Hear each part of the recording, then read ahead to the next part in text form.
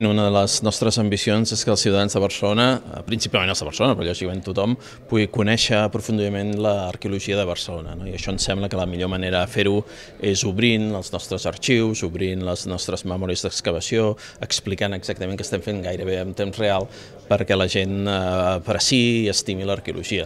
Acabem configurant no, un conjunt d'espais de, a la ciutat, ja siguin les muralles, ja sigui la Sagrera, sigui el Museu d'Història, la Domus del carrer Avinyó 15, que ens proposem també obrir públic i, i rehabilitar, que, que ens permetin passejar per la Barcelona romana.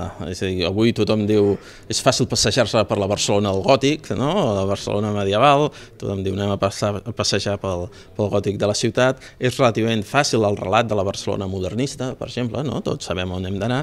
Doncs bé, ens agradaria també que tinguéssim aquesta capacitat de fer-ho amb la Barcelona romana, no? que hi hagués un, un itinerari mental gairebé de les persones que sapiguessin que si volen conèixer més a fons el passat romà de la ciutat de Barcelona ho puguin fer sense problemes.